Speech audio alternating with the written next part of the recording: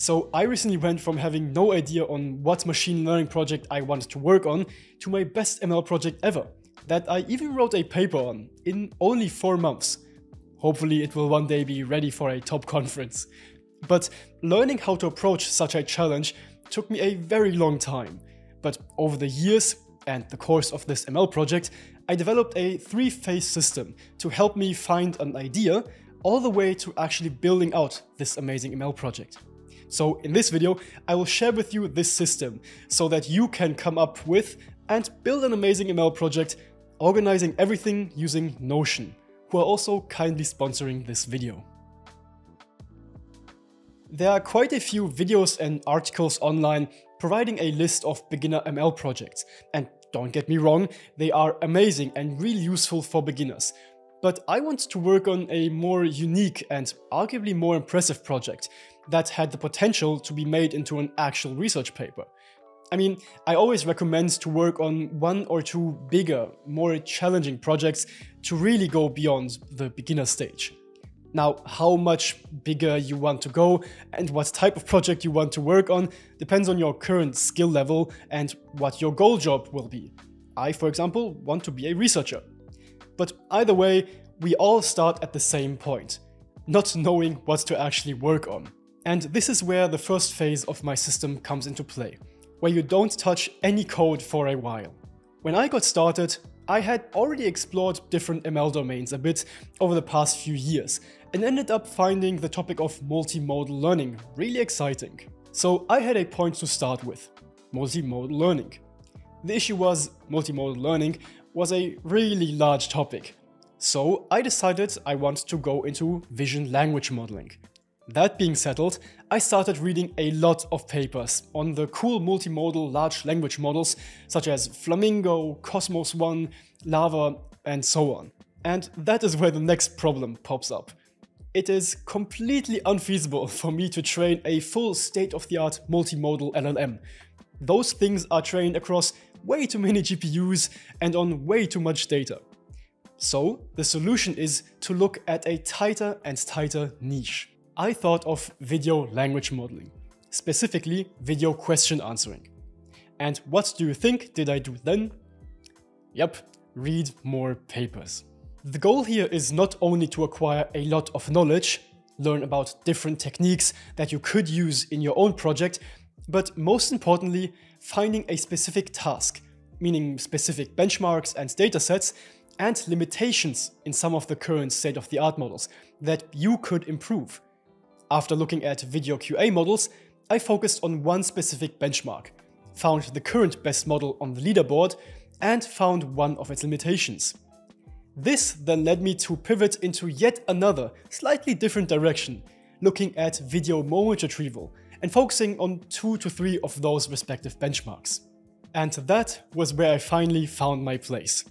Now, one could argue that that is more of a research goal, but if you want to do more practical ML engineering focused projects, the general approach is honestly the same. If you don't have an idea what you want to work on, what problem you want to solve, look at what other people are solving and make sure to pay close attention to the different techniques they use. And that is where the next important part of this phase comes into play. Documenting this research process. What isn't written down somewhere does not exist. Now, I've been using Notion for years now, and I absolutely love it. I've built a little machine learning dashboard with everything I need to organize my research and ML projects in general. We'll get to almost each component, but one part of this whole template is my paper library.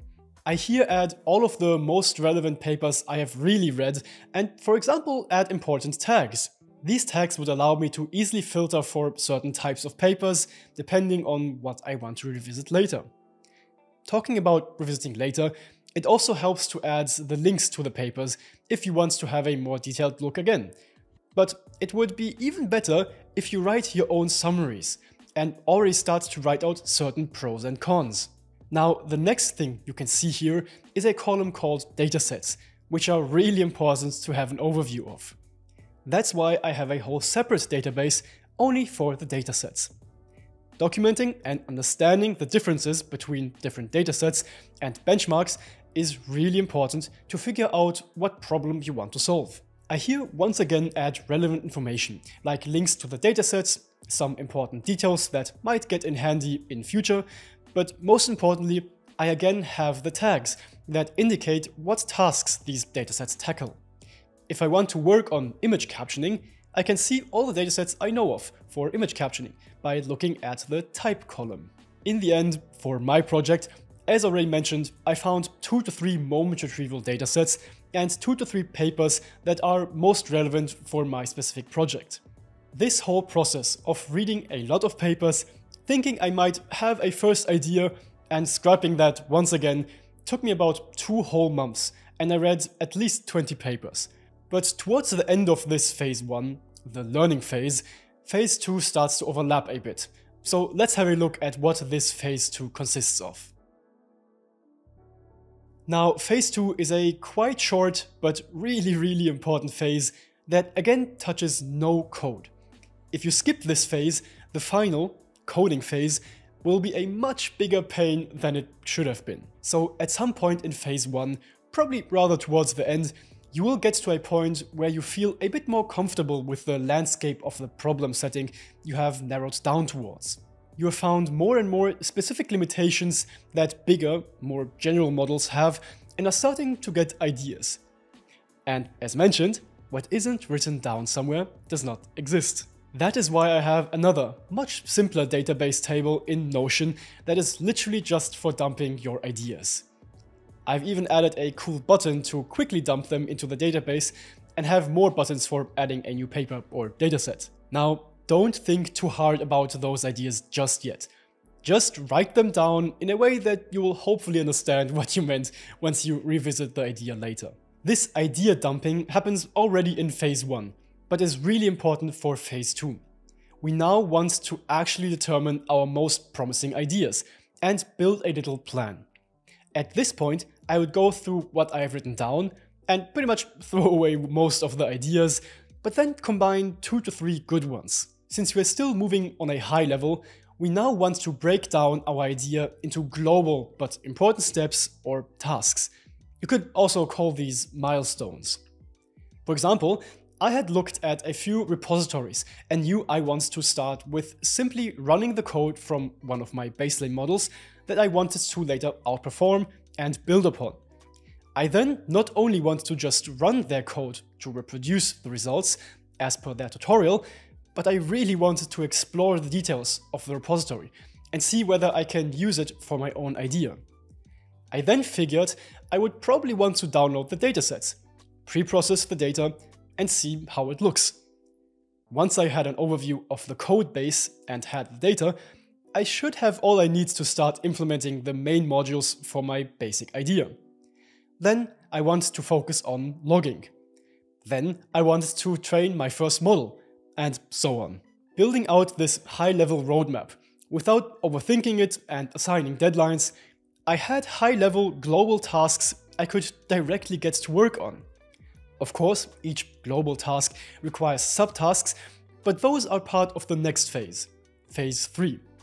But the amazing thing now is I will have way less anxiety when actually sitting down to code, because I now have a good enough idea of what I need to work on, instead of sitting down, looking at the code, and trying to figure things out on the go. This phase 2, the ideating and planning phase, took me only a few days. But the idea of adding global, high-level tasks will also carry over into phase 3 and will be very important for actually developing your idea. Finally, we get to the potentially most stressful phase, but the one where we really see why all stages of the system are so important. When I finished my reading and ideating phase, I finally got to work. I had a fairly clear plan of what I needed to do and got so much coding done. It really felt like some speedrun. I mean, I had everything I needed to get into hustle mode and managed to write the biggest chunk of my code in only a few days. The remaining weeks, I ran a lot of experiments and implemented new, smaller ideas and features into the model. How? Well, I broke down these global tasks into smaller, more immediate to-do items and could just check off one box after the other. But that is not quite enough. How do I get so much work done without losing the overview? So I personally work on a week per week base, at least when it comes to planning, tracking and documenting everything I do. Of course, you could also do daily to-do lists, which sometimes are definitely useful, but again, for me, I find that it is enough and more manageable to keep track of the tasks for one week. For that, I again use Notion, where I have one more database for my weekly diary. There are only three really important parts to one of my diary entries. First, there of course is the to-do list, where I actively take the time to think through what I need to do to get to the next milestone, which you can easily peek at in the global tasks table view at the top. I usually do this on Mondays when sitting down with my supervisors or alone and looking at the progress of the past week and what is still open. This is so often overlooked, but I promise you, this helps you so much when you finally get to actual coding. Once I get to work, I keep updating the list because during this week I of course find new problems I need to work on. What I also might get during the week are new ideas, and for those I have a special place to just dump them, because again, what isn't written down doesn't exist. Many of those ideas are bad and end up as zombie ideas, but once I deem one of them really worthy of trying out, I have even added some handy button to add the idea to the idea dump, or can even directly add it as a new global task at the top of the page. Finally, since I'm trying out different things, debugging, running a lot of experiments, and just need to keep track of a lot of bugs, new features, and as mentioned, experiments, I have one more section for the observations I make. I think there's not too much to say about this section, it's just a little log and scratchpad, but I found it to be really useful and I did get lost when I didn't use it. And finally, since there can be a lot in such a diary entry, I also have this little summary section right here where I write down the most important milestones or developments. But the important part is this system is still very dynamic, and as you hopefully saw, allows me to add more to-do items, ideas, and larger milestone tasks to the tables when they pop up during the experimentation and development process. This final phase, the coding phase, can be really overwhelming.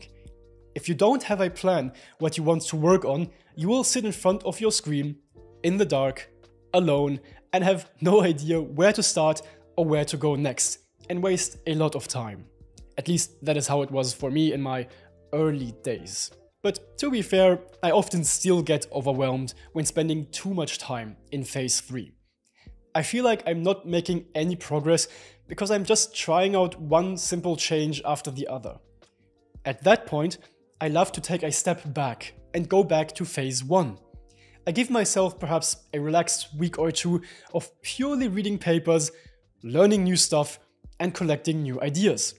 I then go into phase 2, where I write out these ideas into milestones and can then get back to coding with a new fresh mind and a new set of actually thought through steps to take. And I feel like the Notion dashboard I'm using really helps me with this constant cycle of learning, planning, documenting and implementing. I here even have a place to drop in much more information on different projects you might be working on. For example, a table where you keep track of the best scores your model achieves compared to other state-of-the-art methods, and just more. But that is just an open canvas for you to write down whatever you need. So if you don't have a Notion account yet, sign up to Notion using my link in the description below. And if you don't want to spend tedious 30 to 60 minutes building this dashboard yourself, you can also support this channel and buy the template for only a few bucks using another link that you can find in the description. Bye bye.